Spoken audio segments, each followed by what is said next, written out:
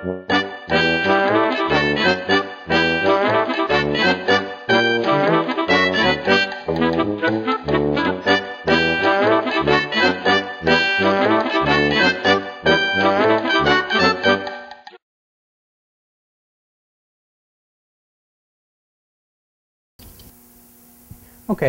after we finish talking about hand tools and hand saws, uh, it makes sense to start uh, looking at some of the power tools we're going to use. Um, your table saw is an important uh, tool in any woodworking shop, but it's very useful in your aircraft shop because you're often going to have to recut wood, meaning you're going to have to take a large flitch of wood and turn it into the smaller pieces you need. Um, this is a standard uh, commercial grade uh, table saw. It's about two and a half horsepower. Um, some of the features and some of the things that you'll find uh, useful is to have an extension uh, fence, meaning that you have the table that is longer than just the uh, actual table saw. Um, you're going to want a good uh, side fence in order to make accurate cuts between the blade and the, this fence. Um, the other thing is you want to look at the variety of blades you're going to need. Not all blades are the same and they don't do the same job. Um, this is here just a standard uh, Irwin uh, 40 tooth per blade uh, saw that I use for cutting general wood. Uh, you can use it to do cross cutting or ripping, meaning crossing the grain or ripping with the grain. Um, the teeth on this saw uh, have a curve to them. One goes one way, one goes the other, and that's to uh, tear through the wood and eject the uh, swath, the, the, the sawdust. Um, the other type of uh, saw blade that you're going to want to find is a zero kerf blade. These are usually called panel or laminate blades, and um, they may have them in your local hardware store. Um, that's what we have installed right now. Uh, I'm going to demonstrate cutting some thin ply in just a minute. Um, besides your uh, fence, which is held in place by a clamp, and there's a measuring tape along one edge, there are a couple other things you're going to want to make or buy. Um, these are what are called feather boards. And um, this is a piece of uh, pine, clear pine, that um, we've cut slots in.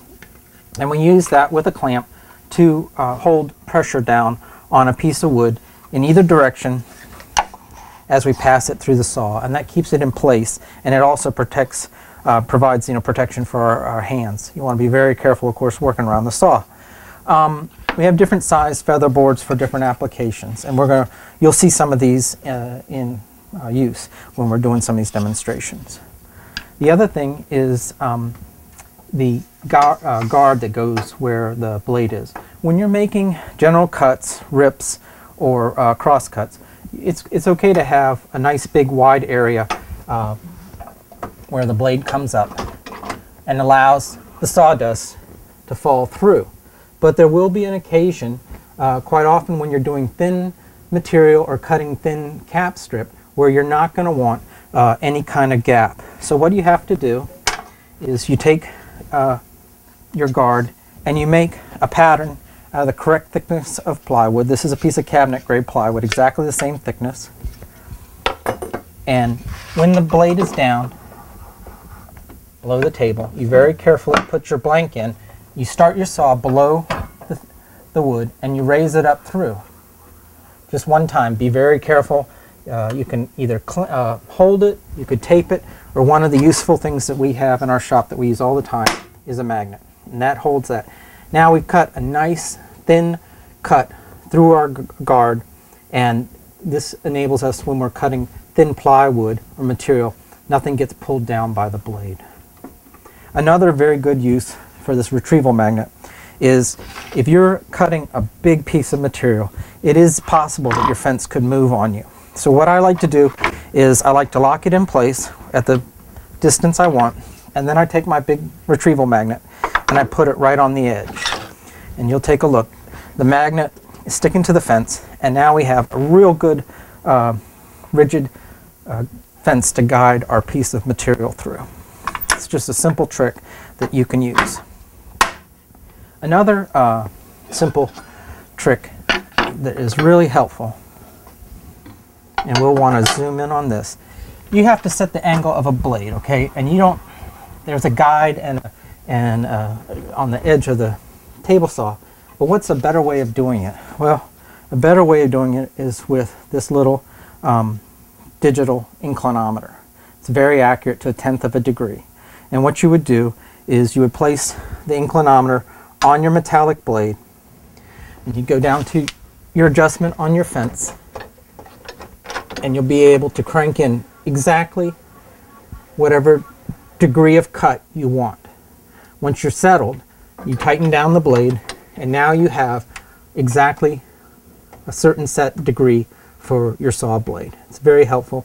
We use this all the time for a number of different applications. So you might want to think about getting a digital inclinometer. Okay, so in addition to our uh, angle fence that we use to get nice straight cuts, there's another fence you're going to want to have. And it's, and it's for doing cross cuts.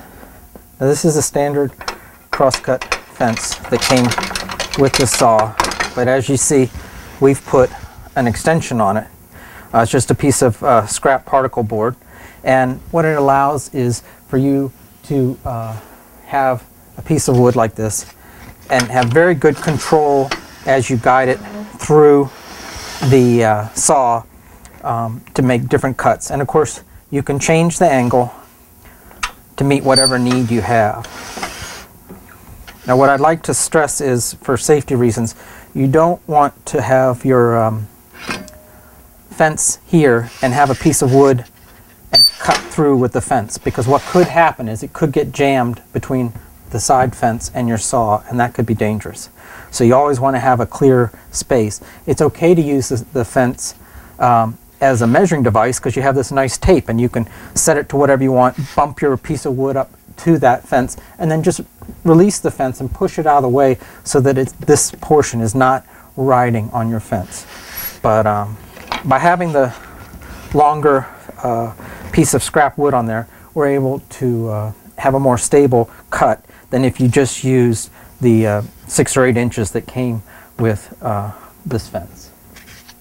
Now one of the other things that are common um, maintenance issues that you're going to have is you're going to have your saw blade and you've used it and eventually you're going to build up uh, pitch on the blade from the wood. And so you don't want to uh, necessarily dispose of the blade.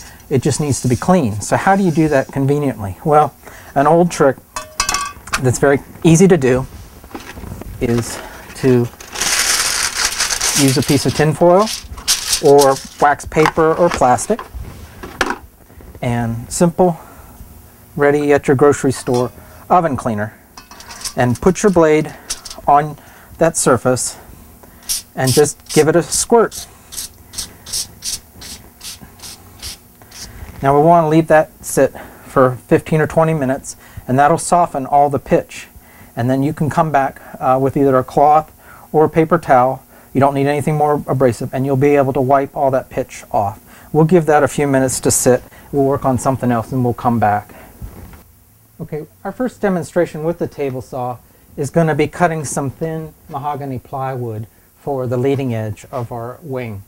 Um, most of you have experience cutting wood probably on the saw in a crosscut or ripping fashion, but this is a, a project that takes a little more experience. Um, in advance, we set up an infeed table. This is just a piece of particle board that we use in the shop. I'll show you. On the bottom is a cleat, two pieces of wood that are glued and screwed, and we have our roller uh, stands. The cleat is to stop, obviously, our uh, piece of wood from rolling across. We want to use uh, the infeed table on this thin stock rather than the roller bars because this, the thin material has a, a tendency to uh, wiggle and move on us. Coming to the saw, we talked about the feather boards, and here's one installed. Um, we pre-positioned a piece of our plywood in advance to get the right height, and our fence is locked in at the right width that we want to cut our leading edge. And once you'll see, I'm using my retrieval magnet to clamp down just to make sure everything stays put as we get the saw through, I mean, as we get the panel through, I'm going to be using a push stick, not my hands, to get the uh, wood through. In this instance, we have a thin kerf saw blade, zero kerf for panel work, and a thin cut out for the uh, table saw. So here we go.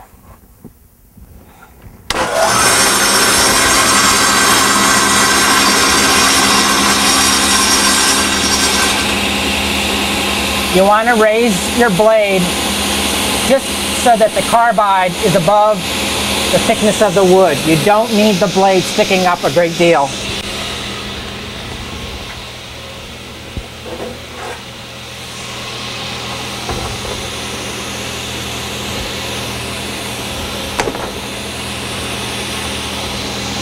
Our, our panel is pushed up against the fence and we're going to guide it through now. Sometimes, in this instance, you might want to use a piece of wood as a flat weight. It holds down your panel. Make sure that you keep the panel close to the fence.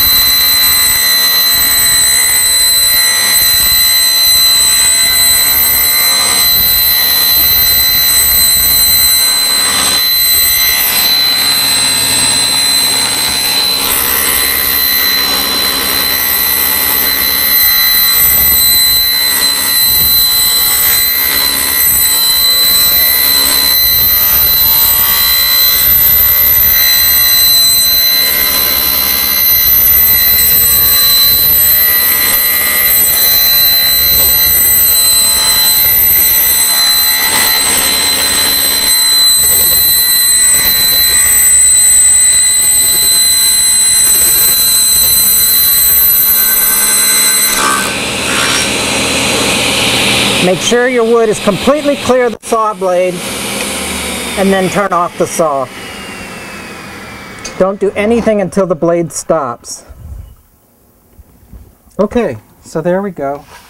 We've taken this beautiful thin piece of mahogany ply and we've cut it into a very accurate strip for our leading edge with two clean straight edges. And we're going to use this in a little bit uh, for demonstration on steaming and we're going to form it on the wing later on.